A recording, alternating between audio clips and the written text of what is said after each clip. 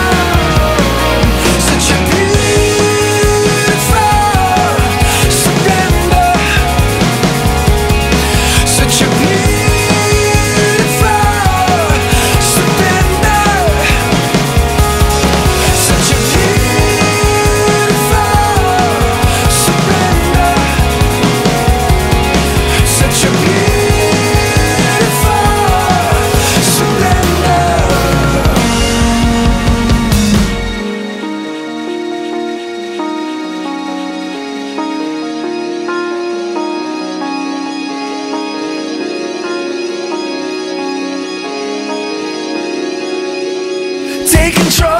the atmosphere